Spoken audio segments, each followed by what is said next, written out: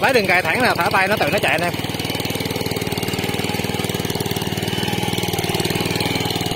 Đất này đất đậu á, đất nó hơi sự sượng sượng sượng nó cứng nó khô rồi nè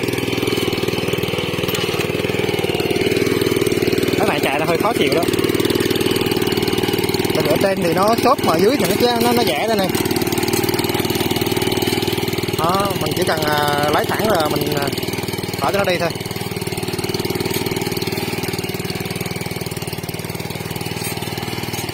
Con này à, bốn người tóm anh em ơi. À, đứng rồi hoàng này giật này. Rồi đứng.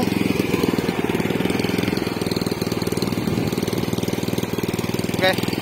À, anh em có nhu cầu à, liên hệ. À báo giá luôn có con này. Con này à, mình đang bán giá đủ bộ như thế này anh em. Đủ bộ như này là 6 triệu. 6 triệu. Con này đóng gói ship toàn quốc được anh em. Nhưng mà tiền ship anh em chịu nha anh em đừng ờ, chế cháo gì, còn anh em muốn mua không thế này thì ờ, 4 triệu năm 4 triệu 500 một con máy cái đầu kéo không anh em nó có cái bánh xù á. Nó có bánh xù nha này